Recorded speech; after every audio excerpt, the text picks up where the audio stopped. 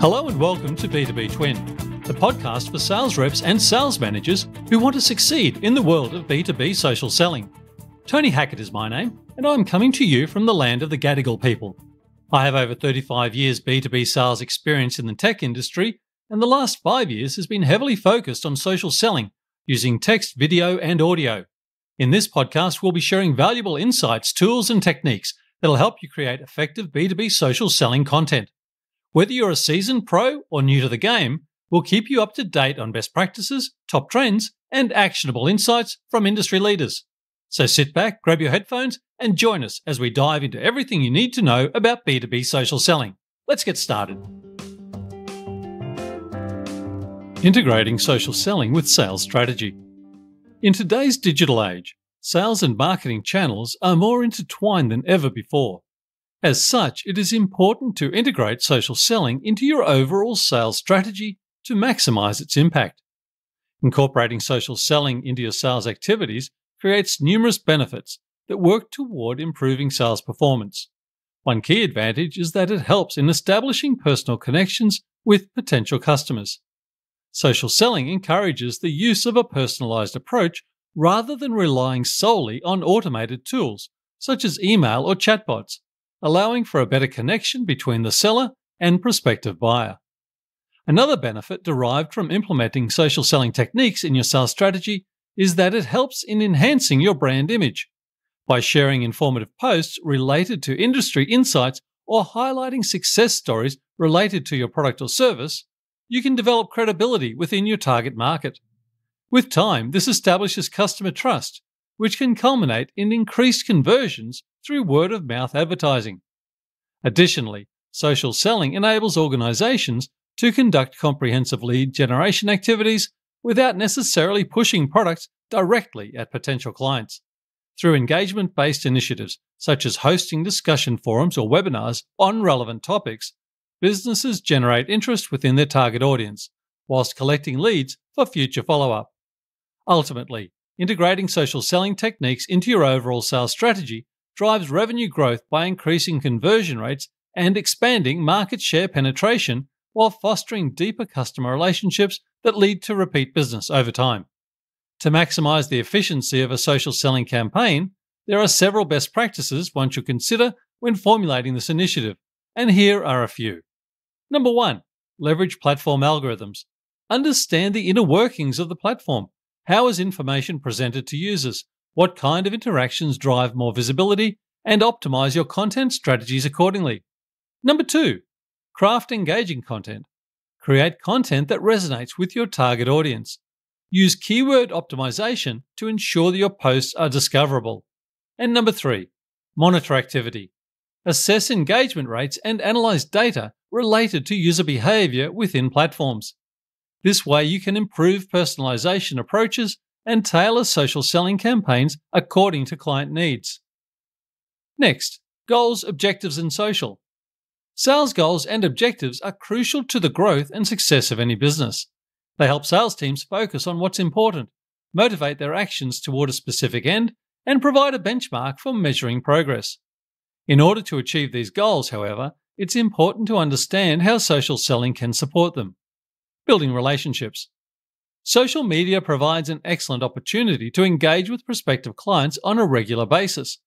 Posting engaging content that's relevant and informative helps in building relationships over time by fostering trust with potential clients, even before making contact offline. You can also use these platforms to join online groups relevant to your industry and participate in conversations there which build rapport and helps you network organically. Generating new leads. Incorporating social selling as part of an overall strategy can help uncover new leads by accessing a list of connections built over time across multiple channels, such as LinkedIn or Twitter, and their search options based on specific criteria like industry or location. Gaining intelligence and insights. One major advantage of using social media for sales purposes is gathering competitive intelligence, gaining insights into competitor trends like promotions or services offered through online profiles so that you are better positioned against the competition when dealing directly with clients. Setting goals for social outcomes. Like any other sales strategy, integrating social selling into your overall plan requires setting specific goals and objectives. These can include metrics, like the number of social media connections and followers, or the amount of user engagement through likes, shares, or comments generated within a specific timeframe. In addition to these numbers based goals, it is important to create customer centric targets that focus on end user engagement, as well as lead generation. This could mean things like creating customized content messaging for certain accounts based on what was learned from interpreting insights gathered through monitoring prospect data for organizations. Next, aligning personas and funnel. In order to achieve optimal results from social selling, it is important for businesses to align their social selling efforts with their buyer personas and sales funnel. Doing so can help companies properly identify potential customers and develop tailored strategies that will enable them to build meaningful relationships with those individuals. Buyer personas are fictional characters that represent the ideal customer for a particular business. They are typically based on market research, customer feedback, and demographic data. Creating buyer personas allows businesses to gain a better understanding of who their target audience is, what they care about, and what motivates them to purchase a product or service. By aligning social selling efforts with buyer personas, businesses can tailor their messaging and content to resonate more strongly with potential customers. For example, if a company's ideal customer persona is environmentally conscious and interested in sustainable products, the business can focus its social selling efforts on highlighting its eco friendly offerings. In addition to aligning social selling with buyer personas, it is also important for businesses to integrate these efforts into their sales funnel. The sales funnel is the process by which potential customers move through various stages of the purchasing process, from initial awareness of a product or service to making a purchase. Effective social selling requires an understanding of where customers are in the sales funnel so that appropriate techniques can be used at each stage. For example, during the awareness stage of the funnel, businesses might use social media posts or advertisements that introduce potential customers to the company's offering. During the consideration stage, companies may leverage case studies or testimonials on LinkedIn or other platforms to establish credibility and assist prospects in decision making. Social selling provides significant benefits for businesses when it is aligned with buyer personas and integrated into their sales funnel. By doing so, companies are able to connect more effectively with potential customers, building long term relationships that lead to repeat business and ultimately drive revenue growth. Next, social selling playbook. Once you have a clear understanding of your buyer's personas, needs, and interests, you can tailor your social selling approach to meet those needs. By providing valuable content that addresses their problems or concerns through various social media channels or platforms, such as Facebook pages or groups, Twitter profiles, or through LinkedIn groups, you should be able to build trust and credibility with prospects while simultaneously creating demand for the product or service. In addition to aligning with buyer personas, it's also important to integrate social selling into the sales funnel. The sales funnel is a process that involves attracting prospects at the top of the funnel via blog posts on the website, email signups, etc., engaging them in conversation through relevant content or personal messaging on social media channels, middle of the funnel, nurturing these leads into becoming paying customers by providing specific solutions using landing pages, bottom of the funnel. Social selling should be integrated at every stage of this process to create a cohesive journey for prospects that empowers them to make informed buying decisions. To fully leverage the power of social selling within the sales process, businesses should also develop a consistent and repeatable playbook. A playbook lays out each step involved in the sales process and assigns specific tactics or activities for each stage. For example, during the outreach and engagement phase, you may share articles related to a prospect's interest areas or ask questions about certain pain points. This ensures that all members of the team are on the same page when it comes to social selling and helps to build a consistent customer experience. The first step in creating a playbook is to identify your company's social selling objectives. What are your long term goals in terms of revenue growth or market share? How does social selling fit into these objectives? And what specific activities must be taken to achieve them? Once you've outlined your social selling objectives, it's time to develop a set of tactics for each stage of the sales funnel. For instance, the approach may vary based on the size of an organization or its vertical industry. Next, integrating your sales tech stack. Integrating social selling into your sales strategy can provide numerous benefits, including a wider reach, increased engagement, more targeted messages, and ultimately higher conversion rates. Incorporating social selling tactics within your sales funnel allows for engaging prospect allows for engaging prospective buyers throughout their entire journey, from the awareness stage all the way through to decision making. The goal should not only be lead generation, but also lead nurturing during each stage of the funnel. To ensure long term success in social selling, it's important for businesses to develop a consistent and repeatable process through the creation of a social selling playbook that would, firstly, outline your unique approach that reflects your buyer personas and sales funnel objectives, and include steps involved in creating message themes and content types for each stage of your sales pipeline. Finally, integrating social selling into your CRM and sales tech stack allows for more targeted communication with prospects and a better understanding of their interactions. You can also automate certain communication as required, which ensures that no leads are lost during the process while monitoring the success rate of each conversation in real time. Next, content that aligns with strategy. When crafting your messaging strategy, it's important to first consider your target audience. Who are they? What do they care about? How can your product or service solve the problem or fulfill their needs? The next step is to align your messaging with your sales strategy. What are your goals for social selling? Are you looking to generate leads, close deals, or build relationships? Your messaging should reflect these objectives and be tailored to the specific stage of the buyer's journey. If you're targeting prospects in the awareness stage, your messaging should focus on educating them about the problem that your product solves and establishing your brand as a thought leader in the industry. In contrast, if you're targeting prospects in the decision stage, your messaging should focus on demonstrating how your product can specifically help solve their unique problem and providing social proof via case studies and customer testimonials. Once you have a clear understanding of who you're targeting and what message will resonate with them at each stage of the buyer's journey, it's time to develop a content plan. This involves identifying the types of content that will best serve those prospects at each stage of the journey. For example, in the awareness stage, you may want to create blog articles or videos that educate prospects about broader industry trends and challenges. In contrast, in the decision stage, you may want to create targeted demos or product overviews that showcase how your product addresses specific pain points. It's also important to consider where this content will live. Does it belong on your website? Should it be shared through social media channels? Will it be used as part of an email marketing campaign? Overall, creating a content and messaging strategy that aligns with your sales strategy is a critical component of successful social selling. Understanding your target audience, their needs and challenges, and developing content that speaks to their unique persona throughout the buyer's journey will help attract interested parties and establish trust in your brand.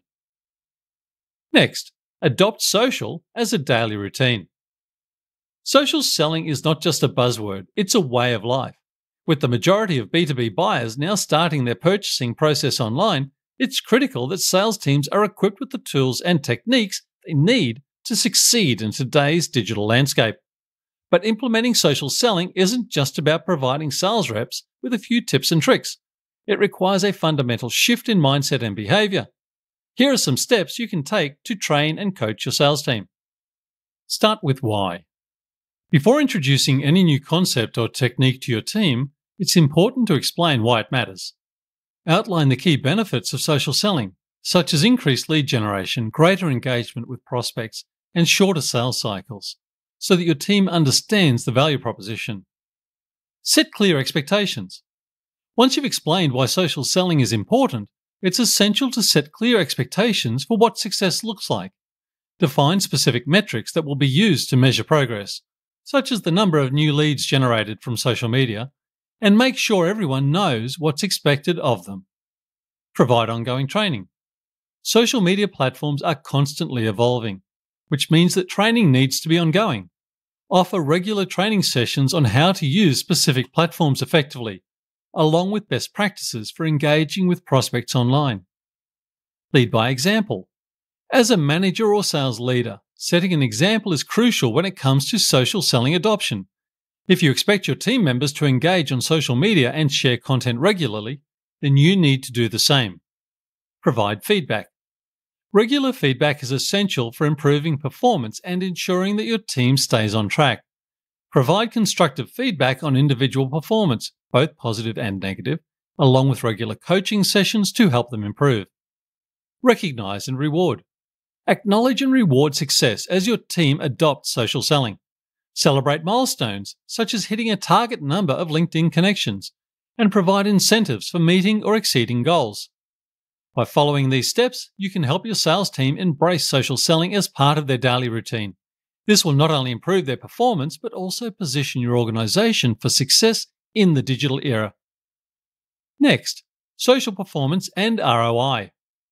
Measuring the return on investment of your social selling efforts is essential to demonstrate its value to your organization. Set clear objectives. Start by defining what you want to achieve with social selling. This could be increasing sales, generating leads, building brand awareness, or improving customer engagement. Your objectives should be specific, measurable, achievable, relevant, and time bound. SMART. Identify relevant metrics. Once you have your objectives in place, identify the KPIs that will help you track progress toward these goals.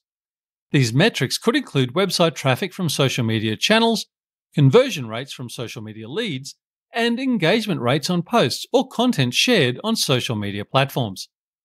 Use analytics tools. There are many social media monitoring tools available that can help you track KPIs, such as Twitter Analytics or LinkedIn Insights, which provide detailed reports on follower growth alongside post engagement statistics. Evaluate results. After gathering data over a defined period of time, evaluate how efficient or effective your efforts have been by measuring against established benchmarks for each metric identified previously.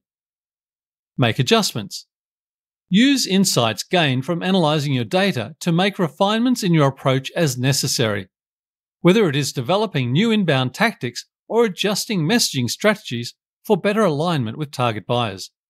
Social selling performance analytics take time and effort, but once set up with solid goals, tracking will become second nature to teams looking to capitalize on emerging opportunities. Next, integrating sales channels.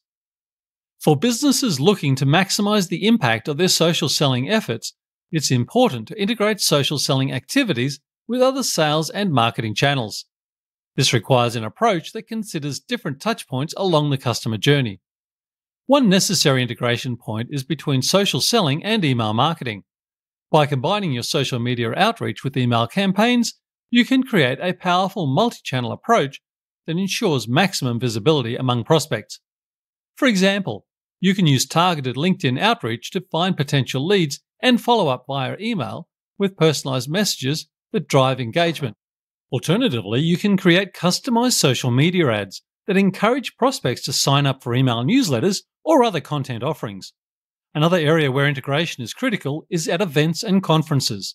Here, social selling can be used to help identify key attendees beforehand and create meaningful interactions during the event itself. For instance, you can use LinkedIn's advanced search features to find attendees and reach out through personalized messages or by sharing relevant content related to the event topic. During the conference itself, you can leverage this information for in person networking opportunities or by connecting on site via social media. Of course, it's also important to integrate your social selling activities with other digital channels like SEO advertising campaigns or webinars.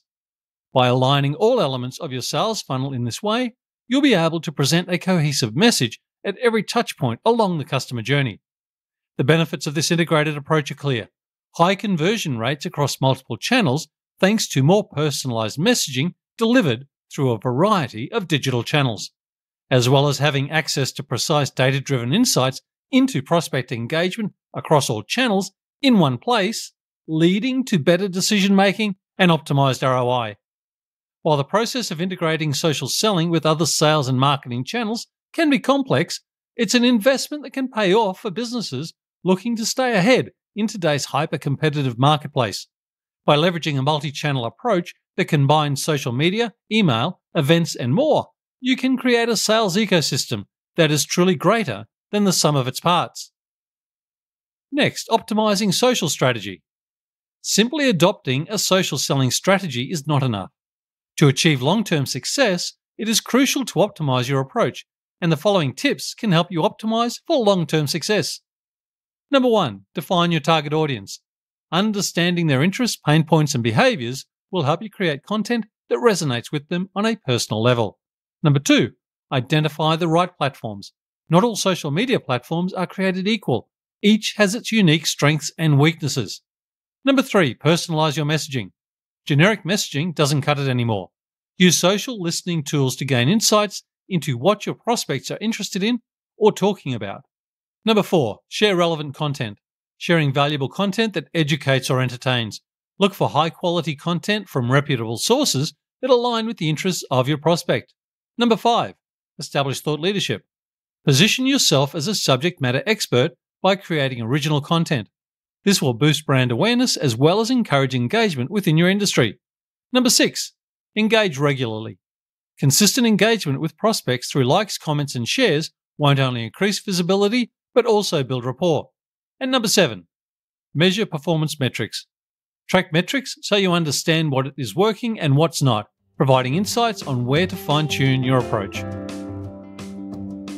Thanks for tuning in to this episode of the B2B Twin Social Selling Podcast. We hope you found our insights and tips helpful. Remember, building strong relationships is key when it comes to successful social selling. Connect with your prospects on a human level, provide value, and watch your sales soar. If you enjoyed this episode, please subscribe so you never miss a new one. And if there's a topic you'd like us to cover in an upcoming show, feel free to reach out and let us know. Thanks again for listening, and we'll see you next time on B2B Twin.